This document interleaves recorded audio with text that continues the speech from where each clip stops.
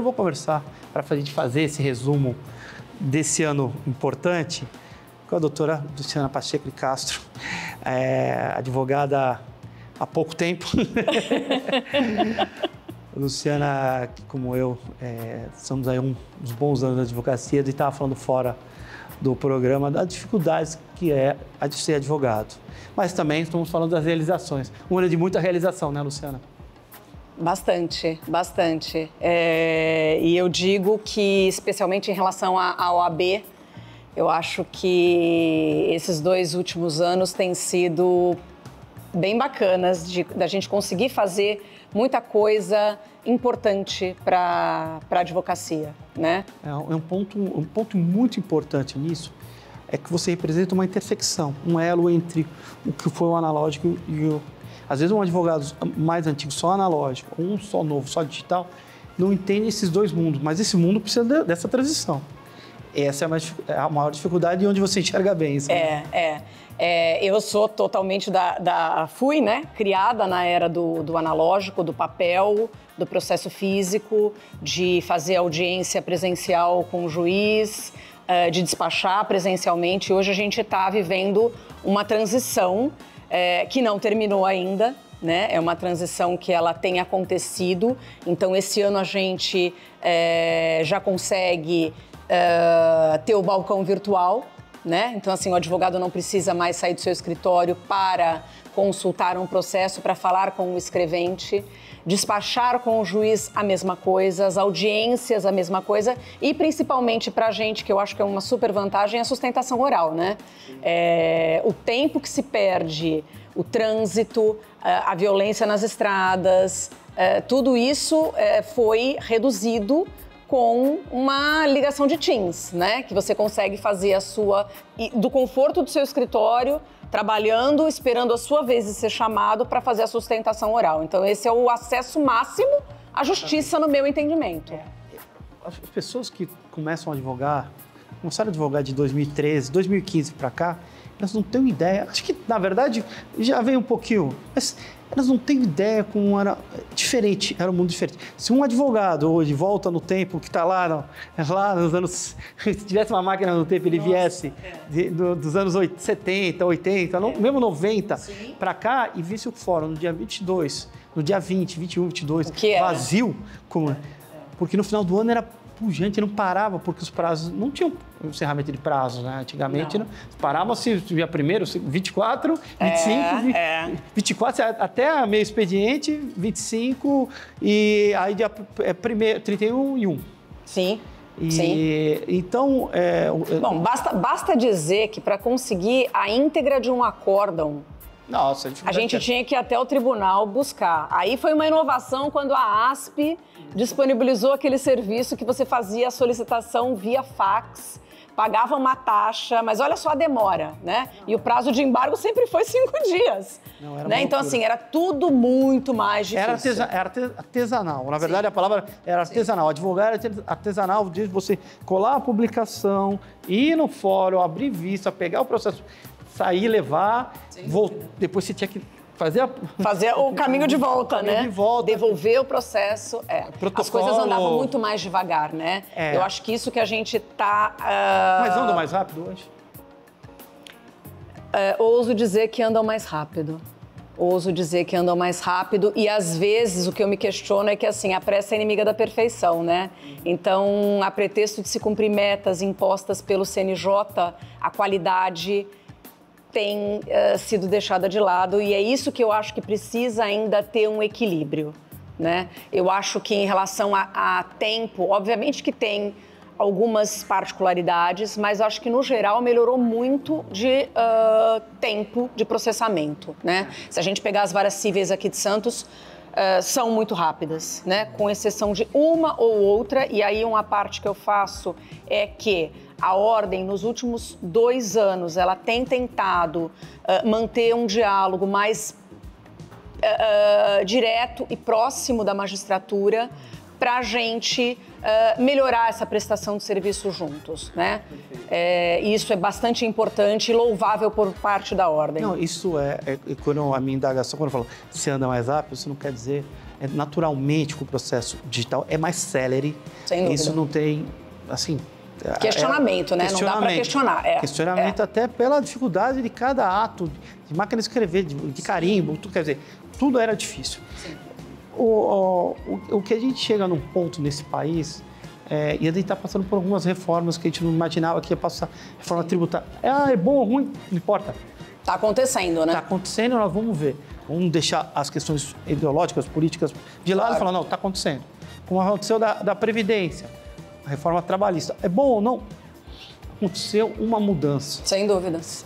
E aí, se ela for ruim, a gente, o tempo vai mostrar e vai se alterar. Mas tudo está se mudando, a reforma tributária, se vier e tiver o seu, o seu lado, o seu lado positivo realmente for absorvido Sim. pela sociedade e a menos burocracia e tudo mais, ela vai ser de suma importância. E chegou um momento que a gente pode, que há anos estamos falando, talvez uma reforma no judiciário. Ah. Chegou o momento. Aí é, é mexer no vespeiro, né? Mas é, é, porque a. E é preciso. É, porque a, é preciso. a mecânica, por mais que ela tenha. Você colocou quatro pneus novos, Sim. mas ainda precisa mudar Sim. um monte de coisa. O carro. Sim. Você precisa, a gente precisa. Desde a questão orçamentária, a questão de, de, de, de contratação de funcionário público, Sem de dúvida. concurso. Sem dúvida. Mais, é, tudo. É porque a partir do momento que o tribunal ele é, percebe que não precisa num cartório ter mais 30 escreventes como a gente tinha no passado, porque é, lidava-se só com processos físicos. É, agora, com o processo digital, ele visualiza, depender da, do tipo de vara, né? Obviamente que as varas cíveis são diferentes de família e, e daí por diante, um, de, um número que é infinitamente menor do que esse, né? Varia de 10 a 12 uh, é, funcionários é, a gente começa a perceber que existe uma transição. E essa transição não é simplesmente, uh, ela não termina simplesmente com a digitalização e com a, a, a redução do número de, de funcionários. Ela é muito maior do que isso. Né? E a gente também tem que dar um tempo para ela ir acontecendo, né? Porque eu acho que toda transição que ela é válida, que é boa, é aquela que vai, ela é constante, ela não para. Esse, esse ano fez 10 anos do processo digital. 10 anos de processo digital e uh, a gente tá com marca de Santos, vai ser assim, uh, acredito que o cidadão vai perceber isso uh, no seu dia a dia, porque a gente está terminando a UPJ, né? É, 2024 a gente já está com, com toda a organização para iniciar as varas de família. E eu ouso dizer que primeiro semestre de 2024 a gente termina a digitalização na comarca de Santos. Então, assim, isso vai ser um ganho para a população que é imensurável, né? É, de rapidez, porque, assim, aí, veja, a quantidade que o tribunal idealizou de número de funcionários para aquele cartório, aí sim passa a ficar um pouco mais coerente. É, não, exatamente. Por isso é a reforma. Porque se você mudar, por exemplo, na França, nós temos lá o Tribunal de Justiça, tá, nós temos o Tribunal Administrativo. Sim. Só as questões administrativas. Sim. Ah, mas aqui tem uma Câmara de Direito Público. Vamos esquecer isso aqui. Vamos é. tirar só juízes escreventes especializados, juízes especializados, todo mundo para para a Câmara de Direito Público, ah, vamos lá, administrativo, questões envolvendo o Estado. Sim. Só ali. É, é, uma, é uma, uma mudança muito maior, né? Acho que não tão cedo essa, esse tipo de mudança, né, do Poder Judiciário uh, como um todo, ela vai demorar um pouco, porque agora Estamos ocupados com a reforma tributária, que veja só quantos anos ela demorou para acontecer. 30 anos, desde, né? desde, desde que surgiu a Constituição já tem que mudar. então, é, é, não sei se seria viável uh, acontecer as duas juntas, porque se mexe em, em pontos muito delicados, não? O do judiciário, assim, a gente não pode esquecer que nós somos é, executivo, legislativo e judiciário. É, né? é, é, um poder, é um poder uh, no, em todo o sentido da sua, da sua palavra, que é muito maior, né? Que ganhou um destaque muito maior nos últimos muito anos. Muito maior. E que, assim, precisa. Em esferas menores, está acontecendo, né? Então, assim, a desjudicialização de muita coisa, né? A arbitragem, muitas coisas uh, uh, a gente está experimentando ao longo do tempo. É que eles estão... É, é, porque a, a polarização do Brasil leva as discussões por vias erradas. Erra, também acho. E, e, aí você acaba é, trazendo uma discussão política para algo que, por exemplo, nós que somos trabalhamos no direito, somos operadores ali trabalhamos. Nós vemos uma situação ah, cara, olha, essa é uma questão para mim mais ideológica, discussão. Ah, tá errado? Não, eu acho que tá errado. É, mas a gente não pode perder o foco, mas né? Um, pra mim, a gente tem que, na realidade, respeitar a ideologia política de cada um, qualquer que seja. Exatamente. Né? Mas não pode perder o foco do que precisa ser feito. Não pode e, misturar. E quem trabalha com isso, sabe, o que é muito mais importante do que essa discussão de polarização, ideologia, é uma questão de reforma do judiciário. Não, mas o ministro tem, é o dono, só são 11, tem, é, eles têm que ficar tempo. Cara, isso é uma coisa menor. É, e é muito isso é engraçado, é né? A gente precisa entender e respeitar os poderes. É. Né? É, muito embora seja questionável, às vezes, algumas questões que são apresentadas por eles, a postura de algum deles tal, mas é, é, me choca um pouco, eu como cidadã e como advogada, a falta de respeito que a gente tem pelos três poderes, especialmente pelo Poder Judiciário. Eu também acho, isso é uma coisa que me chama, que não era assim. Não. E ficou por causa de rede social, é. é. Obviamente que com a rede social a gente teve um acesso à informação muito maior. E às vezes mentirosa. Às vezes mentirosa, exatamente. Então as pessoas, elas é, é, encaram um uh, debate sobre algum processo sem ter visto o processo. Por conta de uma manchetinha, né, sei lá como é que se fala hoje em dia, uma headline, de uma uh, notícia de mídia social. Então, assim, nós como somos, isso? E nós que somos progressistas e com mentes liberais e abertas, às vezes nos pegamos conservador com relação. Isso é um fato disso. Eu sou um conservador com relação a isso. Eu acho que relação. E aí, é, aí eu vou te, vou te falar, vou te até... tocar num ponto que para mim na advocacia tem sido mais difícil, né? É, como um cidadão, um advogado, um cliente julga aquela questão sem olhar o processo. Olha a sensibilidade disso. Porque aí, assim, às vezes você está com a causa daquele cliente e que essa causa vai ser discutida e analisada por outros colegas sem que tenha visto o processo sem conhecer efetivamente. Então, todo mundo que me pergunta de todas as questões polêmicas que a gente vê todos os dias e o dia inteiro nas mídias, né? É... Ah, o que, que você acha? Eu não acho nada, eu não vi. Você vê um. Eu não acho nada. É, né? É, é simples assim. Exatamente. Eu, dentro desse universo, quando a gente fala que. É, porque a gente sente falta do respeito que, intera que existia. É. O Brasil sempre foi complexo, o ser humano, desde a humanidade, desde que nasceu a humanidade, surgiu a humanidade, Sim. é tortuoso. Mas, mas havia alguma, algo é, de um, um, respeito. Mas... E outra coisa, a Suprema Corte é, brasileira, ela também ficava com uma americana debaixo dos holofortes. Você não tinha. Exato. Você não tinha. E olha que teve questões do plano Collor, que está até hoje aqui. Questões é, polêmicas. Polêmicas. É, nós é. tivemos questões polêmicas é, ao longo desse tempo todo. É, e, e impeachments e tudo mais. E, e, a, e a Suprema Corte ficava reservada. Reservada. Hoje em dia, estranha-se porque ministro tem mídia social, ministro se posiciona, é muita informação quando não sei se é o caminho mais. Né? Então, é, esse... A gente sofria por uma falta de informação, que era tudo às escuras, né? É, e hoje é um excesso, então precisa ter um equilíbrio nisso, né? É, agora, julgar um processo sem, sem caso, ter caso, visto, não concreto. dá. Essas são reflexões que a gente faz, até é bom para o telespectador que está vendo, porque tem muita gente que assiste, que a grande maioria não é advogada, não. É. é a, a, população assiste o programa e tem ideia é, justamente é, ver é, Facebook e, e, as mídias sociais. E elas têm uma, uma ideia que às vezes nem é o que acontece. Exato. Às vezes são termos técnicos que os caras estão falando. Exato. E, e, exato. E, e, não tem. Exato. E, há um tribunal, há, há vários tribunais, da internet há um.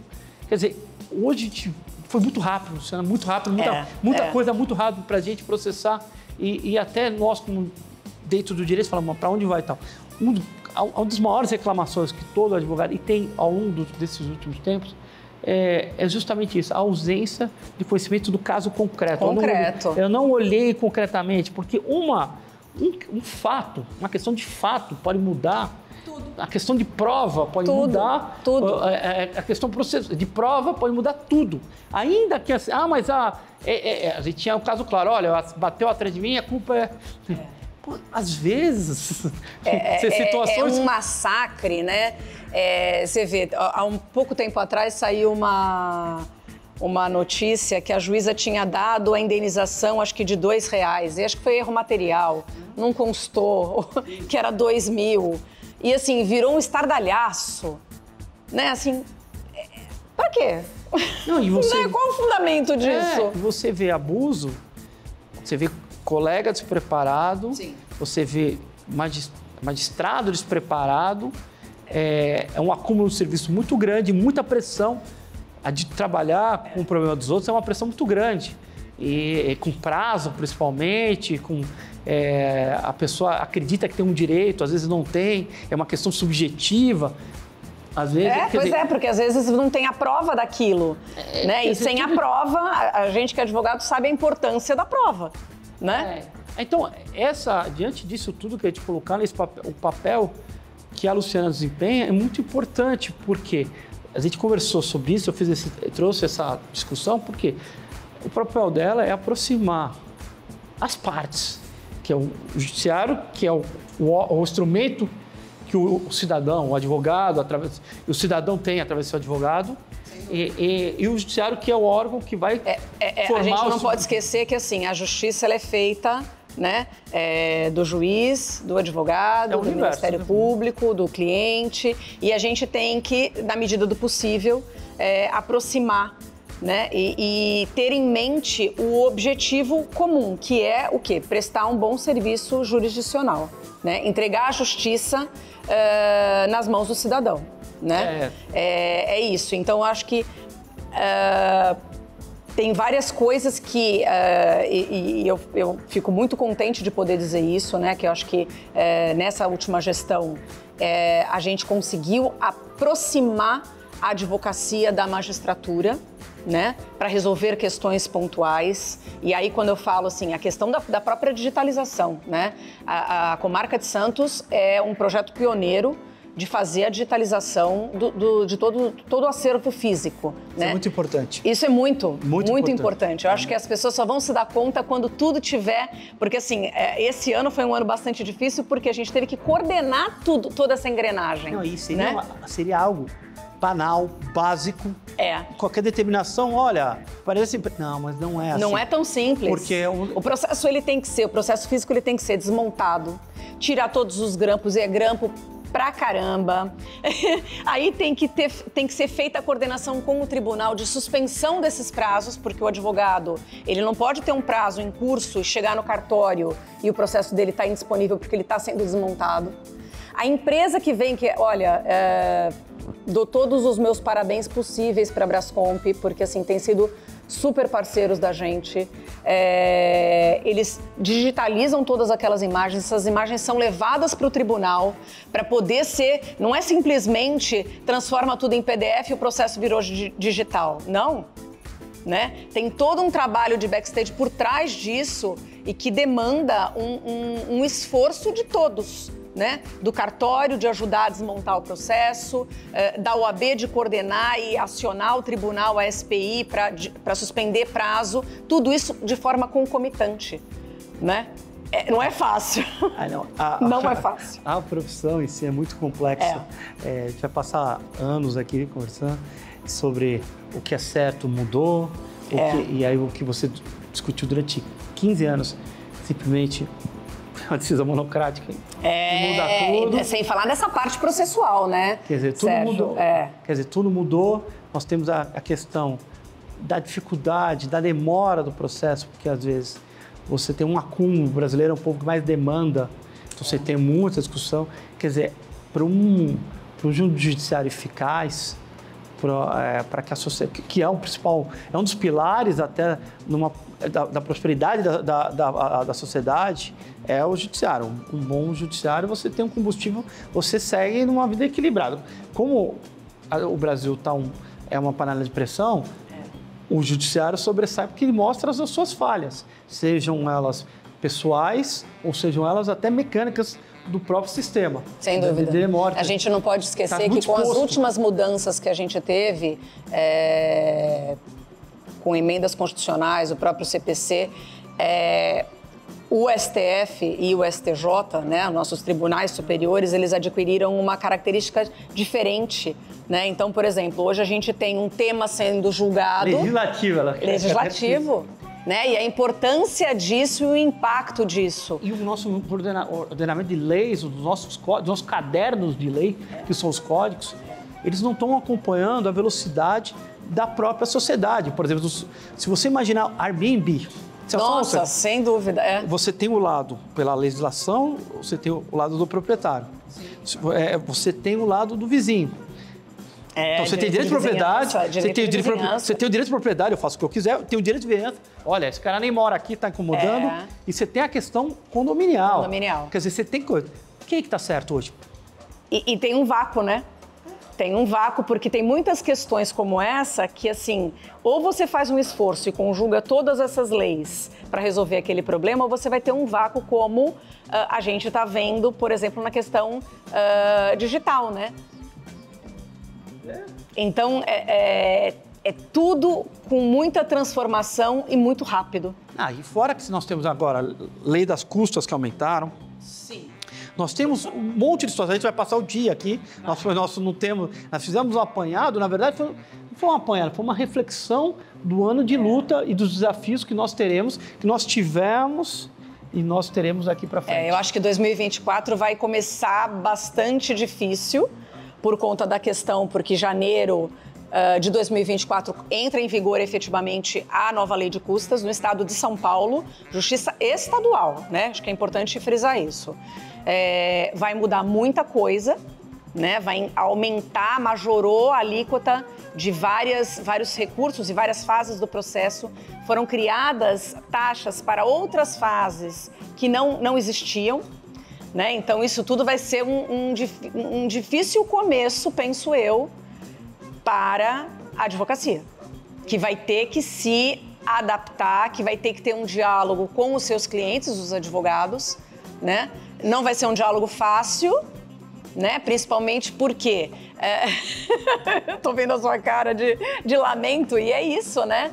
Não é um diálogo fácil, porque assim, pense bem, aquela pessoa que ganhou uma ação ela vai uh, uh, entrar na fase de cumprimento de sentença, ela vai ter que pagar uma taxa nessa fase de cumprimento de sentença. Como é que explicar para o cliente que ele ganhou e ele ainda vai ter que pagar a mais para cobrar aquilo que ele não sabe se ele vai receber no final? Meu Deus do céu, enfim, são os desafios que nós é teremos, nós teremos daqui por diante. Tudo é uma, tudo é difícil tudo é, mas faz parte dessa profissão que nós escolhemos e gostamos muito, que é muito importante para toda a sociedade. Eu quero agradecer a presença do Luciana. Vamos falar até 2024 hoje, se deixar, porque o que tem de coisa para ser para pontuar, dirimir, mas tem que elevar o que foi feito, o trabalho que foi feito foi um trabalho muito bem realizado.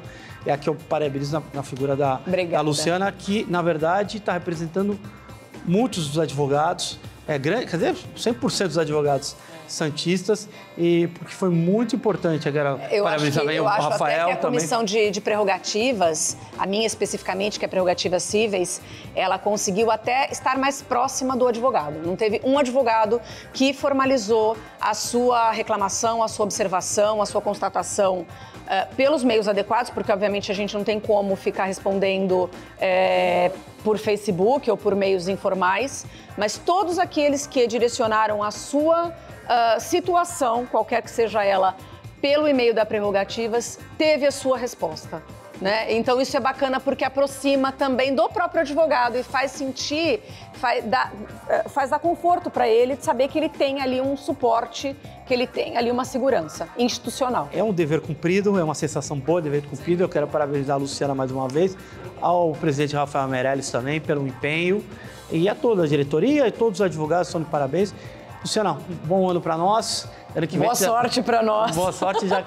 Logo, logo no começo do ano já vamos falar sobre essa lei de É, custas aqui. vai ser bom, para talvez esclarecer, né, Sérgio? E, e essas dificuldades todas que É. vão enfrentar. É. Obrigado, viu? Eu que agradeço o convite.